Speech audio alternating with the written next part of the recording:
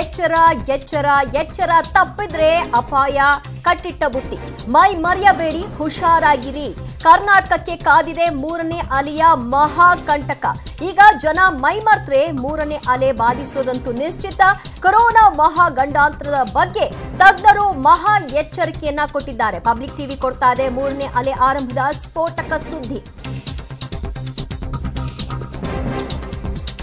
ಅವಧಿಗೂ ಮುನ್ನವೇ ರಾಜ್ಯವನ್ನ ಆವರಿಸೋಕೆ ಸನ್ನದ್ಧವಾಗಿದೆ. ಮೂರನೇ ಅಲೆಯ ಮಹಾಮಾರಿ. ಜನ ನಿರ್ಲಕ್ಷ್ಯ ಮಾಡಿದಷ್ಟು ಕೂಡ ಅಪಾಯ ಕಟ್ಟಿಟ್ಟ ಬುತ್ತಿ.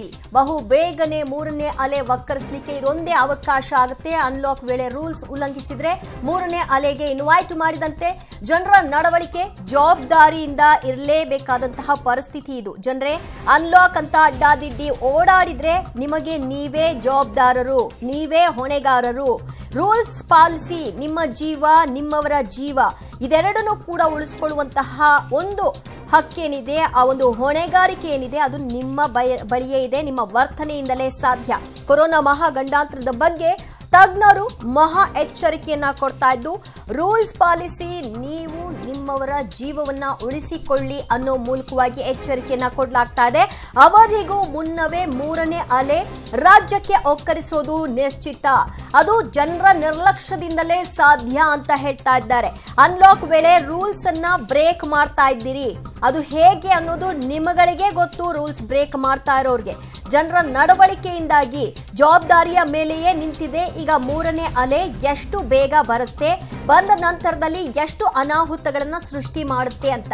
ಸೊ ಇದೆಲ್ಲವೂ ಕೂಡ ನಿಮ್ಮ ಕೈಯಲ್ಲೇ ಇರೋದ್ರಿಂದ ಗುಂಪು ಗುಂಪಾಗಿ ಓಡಾಡೋದು ಮಾಸ್ಕ್ ಅನ್ನ ಹಾಕೊಳ್ಳದೆ ಇರೋದು ಮತ್ತು ನಿಯಮಗಳನ್ನ ಸರಿಯಾದ ರೀತಿಯಲ್ಲಿ ಪರಿಪಾಲನೆ ಮಾಡದೆ ಉಡಾಫೆ ಮಾಡೋದ್ರ ಮೂಲಕವಾಗಿ ಅತಿ ವೇಗವಾಗಿ ಮೂರನೇ ಅಲೆಗೆ ನೀವೇ ಆಹ್ವಾನವನ್ನ ಕೊಟ್ಟಂತಾಗತ್ತೆ. ಸೊ ಎಚ್ಚರಿಕೆಯಿಂದ ಇರಿ. ಜನರೇ, ಗಮನವಿಟ್ಟು ಈ ಒಂದು ಅಂಶವನ್ನ ನೋಡಿ. ಜನರ ವರ್ಧನೆ ಮೇಲೆ ಮೂರನೇ ಅಲೆಯ ಭವಿಷ್ಯ ಇದೆ. ಇದನ್ನ ತಜ್ಞರು ಹೇಳ್ತಾ ಇದ್ದಾರೆ. ಕಾರಣ ಎರಡನೇ ಅಲೆ ಆಗಿದ್ದೂ ಕೂಡ ಅದೇ. ಮೊದಲನೇ ಅಲೆಯಿಂದ ಅಷ್ಟು ಪರಿಣಾಮಗಳನ್ನ ನಾವು ಎದುರಿಸಲಿಲ್ಲ. ಏನು ಕೊರೋನಾ ಮಹಾ, ಒಂದು ಜ್ವರ ಬರುತ್ತಷ್ಟೇ ಅನ್ನುವಂಥ ಉಡಾಫೆ ತೋರಿದ್ರು ಎರಡನೇ ಅಲೆಯಲ್ಲಿ, ಅದರ ಅನುಭವಿಸಿದ್ರು ಪರಿಣಾಮಗಳನ್ನ.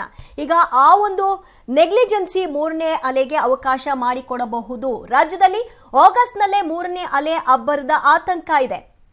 ಈಗ ನಾವಿನ್ನೂ ತಡವಾಗಿ ಇದೆ. ಇನ್ನೊಂದಷ್ಟು ಸಮಯ ಸಿಗುತ್ತೆ ಅಂತ ಅಂದ್ಕೊಳ್ಳೋ ಪರಿಸ್ಥಿತಿನೇ ಅಲ್ಲ. ರಿಲ್ಯಾಕ್ಸ್ ಮೂಡ್ಗೆ ಹೋಗುವಂತಹ ಟೈಮ್ ಅಲ್ಲ ಇದು. ಇನ್ನಷ್ಟು ಎಚ್ಚರಿಕೆಯಿಂದ ಇರಲೇಬೇಕಾದಂತಹ ಸಮಯ ಇದು. ಜನ ನಿಯಮ ಪಾಲಿಸದಿದ್ರೆ ಒಂದೇ ತಿಂಗಳಲ್ಲಿ ಮೂರನೇ ಅಲೆ ಎಂಟ್ರಿ ಕೊಡುತ್ತೆ. ಹುಷಾರ್. ನಿಯಮ ಪಾಲಿಸೋದ್ರಿಂದ ಮಾತ್ರ ಕೊರೋನಾವನ್ನ ಬಹಳ ಕಡಿಮೆ ಅವಧಿಗೆ ಇನ್ವೈಟ್ ಮಾಡಿಕೊಳ್ಳಿಕ್ಕೆ ಸಾಧ್ಯ. ಇಲ್ಲದಿದ್ರೆ ಬಹು ಬೇಗ ಅಟ್ಯಾಕ್ ಮಾಡುತ್ತೆ. ರಾಜ್ಯದಲ್ಲಿ ಕೇಸ್ ಕಡಿಮೆ ಆದರೂ ಆಕ್ಟಿವ್ ಕೇಸ್ಗಳ ಸಂಖ್ಯೆ ಹೆಚ್ಚಿದೆ. ಇದನ್ನ ಗಮನಿಸ್ಕೊಡಿ ಓವರ್ ಆಲ್ ನಂಬರ್ನ ಗಮನಿಸ್ಕೊಂಡು ನಮ್ಮ ರಾಜ್ಯ ರಿಲ್ಯಾಕ್ಸ್ ಮೂಡ್ಗೆ ಹೋಗಬಹುದು. ನಂಬರ್ಸ್ ತುಂಬಾ ಕಡಿಮೆ ಇದೆ ಅಂತ ಅಂದ್ಕೊಳ್ಳಿಕ್ ಹೋಗಬೇಡಿ. ಆಕ್ಟಿವ್ ಕೇಸಸ್ ಮಾತ್ರ ಏನಿದೆ? ಅದು ಕಡಿಮೆ ಇದೆ ಅಂತ ಅಂದ್ಕೊಂಡ್ರು ಕೂಡ ಈಗಿರ್ತಕ್ಕಂತಹ ಸಂಖ್ಯೆ ಏನಿದೆ ಅದು ಕಡಿಮೆ ಅಲ್ಲ. ಅನ್ಲಾಕ್ ಸಡಿಲಿಕೆ ಮೇಲೆ ಜನರ ಓಡಾಟ ಹೆಚ್ಚಾಗಿದೆ. ಅನ್ಲಾಕ್ ಸಡಿಲಿಕೆ ಆಯ್ತು. ಸೊ ಹಾಗಾಗಿ ಸಡಿಲಿಕೆ ಅಂದ್ರೆ ಏನು? ಆರಾಮಾಗಿ ಓಡಾಡಿ ಅನ್ನುವಂಥ ಅರ್ಥವನ್ನ ಜನ ಅಂದ್ಕೊಂಡಿರುವ ಹಾಗೆ ಕಾಣಿಸ್ತಾ ಇದೆ. ಅದಲ್ಲ. ಸಡಿಲಿಕೆಯ ಜೊತೆಗೆ ಜವಾಬ್ದಾರಿಯೂ ಕೂಡ ಮೆರಿಬೇಕು. ಜನರ ಓಡಾಟ ಹೆಚ್ಚಾದಾಗ ವೈರಸ್ ಮ್ಯೂಟೆಂಟ್ ಆಗುವಂತಹ ಆತಂಕ ಇದೆ. ಸೊ ಜನರ ಓಡಾಟ ಗುಂಪುಗೂಡುವಿಕೆ ಇದೆಲ್ಲವೂ ಕೂಡ ಕಡಿಮೆ ಆದಷ್ಟು ಮ್ಯೂಟೆಂಟ್ ಆಗೋದನ್ನ ನಾವು ತಪ್ಪಿಸಬಹುದು. ವೈರಸ್ ಮ್ಯೂಟೆಂಟ್ ಆದರೆ ಅಪಾಯ ಬಹಳಷ್ಟು ಕೆಟ್ಟ ರೀತಿಯಲ್ಲಿ ಇರುತ್ತೆ. ಆಗ ಮೂರನೇ ಅಲೆ ಆರಂಭ ಫಿಕ್ಸ್ ಅಂತ ತಜ್ಞರು ಎಚ್ಚರಿಕೆಯನ್ನು ಕೊಡ್ತಾ ಇದ್ದಾರೆ. ಸೊ ನಮಗೆ ಹೆಚ್ಚು ಸಮಯವೂ ಕೂಡ ಇಲ್ಲ. ಈಗಾಗಲೇ ನಾವು ಜೂನ್ ಮಧ್ಯವಾ ಮಧ್ಯದಲ್ಲಿದ್ದೀವಿ. ಆಗಸ್ಟ್ ವೇಳೆಗೆ ಇದು ಬರಬಹುದು ಅನ್ನೋ ಕಾರಣಕ್ಕೆ ಹುಷಾರಾಗಿರಿ. ಮೂರನೇ ಅಲೆಯ ಸಂಬ, ಸಂದರ್ಭದಲ್ಲಿ ಇವತ್ತಿಗೆ ಹಲವಾರು ಚರ್ಚೆಗಳು ನಡೀತಾ ಉಂಟು. ಅದರಲ್ಲಿಯೂ ಮುಖ್ಯವಾಗಿ ಗಮನ ಕೊಡುವಂಥ ವಿಷಯ ಹೇಳಿದರೆ, ಎರಡನೇ ಅಲೆಯಿಂದ ಮೂರನೇ ಅಲೆಗೆ ಬರುವಂತಹ ಸಮಯದ ಮಧ್ಯದಲ್ಲಿ ಹಲವಾರು ರಾಜ್ಯಗಳು, ಹಲವಾರು ಸಮಯಗಳನ್ನು ತಗೊಂಡಿದೆ. ಡೆಲ್ಲಿಯ ಉದಾಹರಣೆ ತಗೊಂಡ್ರೆ, ಡೆಲ್ಲಿಗೆ ಎರಡನೇ ಅಲೆ ಮತ್ತೆ ಮೂರನೇ ಅಲೆಯ ಮಧ್ಯದಲ್ಲಿ ಸುಮಾರು ಮೂರು ತಿಂಗಳವರೆಗೂ ಗ್ಯಾಪ್ ಇತ್ತು, ಪೀಕ್ ರೀಚ್ ಆಗಕ್ಕೆ. ಅದೇ ನೀವು ಇಂಡೋರ್ ತಗೊಂಡ್ರೆ ಅದರಲ್ಲಿ ಒಂದು ತಿಂಗಳನ್ನ ಗ್ಯಾಪ್ ಇತ್ತು. ಇದೇ ಬೇರೆ ಬೇರೆ ದೇಶಗಳ ಉದಾಹರಣೆ ತಗೊಂಡ್ರೆ ಹೀಗೇನೆ ಎರಡು, ಮೂರು ತಿಂಗಳ ಮಧ್ಯದಲ್ಲಿರುವಂತಹ ಸಂದರ್ಭಗಳು ಇತ್ತು. ಒಂದು ತಿಂಗಳ ಒಳಗಡೆ ಕೂಡ ಬಂದಿರುವಂತಹ ಸಂದರ್ಭಗಳನ್ನು ದೇಶಗಳು ಅಥವಾ ರಾಜ್ಯಗಳು ನೋಡಿದ್ದಾರೆ. ಈ ನಿಟ್ಟಲ್ಲಿ ಮುಖ್ಯವಾಗಿ ಅರ್ಥ ಮಾಡಿಕೊಳ್ಳುವ ವಿಷಯ ಏನು ಹೇಳಿದ್ರೆ, ಇವತ್ತಿಗೆ ಕರ್ನಾಟಕದಲ್ಲಿ ಸುಮಾರು ಕೆಲವು ಸಾವಿರ ಕೇಸಸ್ಗಳು ಪ್ರತಿದಿನ ಕಂಡು ಬರ್ತಾ ಉಂಟು. ಅದಲ್ಲದೆ ಒಂದೂವರೆ ಲಕ್ಷ ಜನ ಇನ್ನೂ ಆಕ್ಟಿವ್ ಕೇಸಸ್ ಇದ್ದಾರೆ.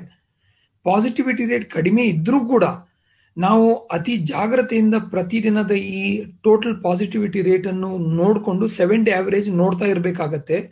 ಯಾಕಂತ ಹೇಳಿದ್ರೆ ನಾವು ಇದರಲ್ಲಿ ಸಾವಧಾನವಾಗಿ ಜಾಗ್ರತೆ ತಗೊಳ್ಳಿಲ್ಲದಿದ್ದರೆ ನಮ್ಮ ಮೂರನೇ ಅಲೆ ಬೇಗ ಬರುವಂತ ಸಂದರ್ಭಗಳು ಬರಬಹುದು. ಮುಖ್ಯವಾಗಿ ಇದಕ್ಕೆ ಕಾರಣ ಏನಂತ ಹೇಳಿದ್ರೆ ಎರಡನೇ ಎಲೆ ಮತ್ತೆ ಮೂರನೇ ಎಲೆಯ ಮಧ್ಯದಲ್ಲಿರುವ ಆ ಗ್ಯಾಪ್ ಇರುತ್ತಲ್ಲ ಪ್ಲಾಟು ಹೇಳ್ತೀವಿ ಅದಕ್ಕೆ ಫ್ಲಾಟಿಂಗ್ ಫ್ಲಾಟ್ನಿಂಗ್ ಆಗುವಾಗ ಅದರ ಕಾರಣ ನಾವು ಜಾಸ್ತಿ ಜಾಗ್ರತೆ ತಗೊಳ್ತಾ ಇದ್ದೇವೆ. ನಾವು ಸಾವಧಾನವಾಗಿದ್ದೇವೆ, ಮತ್ತೆ ನಾವು ಕೋವಿಡ್ ನೈನ್ಟೀನ್ ಕೇಸ್ಗಳು ರಾಜ್ಯದಲ್ಲಿ ಕಮ್ಮಿ ಆಗ್ತಾ ಇದ್ರು ಕೂಡ ನಾವು ಅನ್ಕೊಂಡಷ್ಟು ನಂಬರ್ಸ್ ಇನ್ನೂ ಕಮ್ಮಿ ಆಗಿಲ್ಲ. ರಾಜ್ಯದಲ್ಲಿ ಐದು ಸಾವಿರಕ್ಕಿಂತ ಹೆಚ್ಚು ಕೇಸ್ಗಳು ಕಂಡು ಬಂದಿದೆ. ಬೆಂಗಳೂರಲ್ಲೂ ಸತತವಾಗಿ ಸಾವಿರಕ್ಕಿಂತ ಹೆಚ್ಚು ಕೇಸ್ಗಳು ಎರಡು ದಿನದಲ್ಲಿ ದಾಖಲಾಗಿದೆ. ಮತ್ತೆ ಈ ಲಾಕ್ಡೌನ್ ಓಪನ್ ಆಗ್ತಿರೋದ್ರಿಂದ ಎಲ್ಲ ಇಂಟರ್ ಡಿಸ್ಟ್ರಿಕ್ಟ್ ಟ್ರಾವೆಲ್ಗಳು ಮತ್ತು ಈ ಮೈಗ್ರೆಂಟ್ ಲೇಬರರ್ಸು ಮತ್ತು ಹೊರಗೆ ಹೋಗಿರ್ತಕ್ಕಂಥವರು ಈ ಹೈ ಪಾಸಿಟಿವಿಟಿ ರೇಟ್ ಇರತಕ್ಕಂಥ ಜಿಲ್ಲೆಯಿಂದ ಬೆಂಗಳೂರಿಗೆ ಬರ್ತಕ್ಕಂಥವ್ರು, ಇವರೆಲ್ಲರನ್ನೂ ಗಮನಿಸಿದ್ರೆ ನಾವು ಮೂರನೇ ಅಲೆ ಏನಾದರೂ ಬೇಗನೆ ಶುರುವಾಗುತ್ತಾ ಅನ್ನೋ ಒಂದು ಅನುಮಾನ ಕೂಡ ಕಾಡಲಿಕ್ಕೆ ಎಲ್ರಿಗೂ ತಜ್ಞರಿಗೆ ಶುರುವಾಗಿದೆ.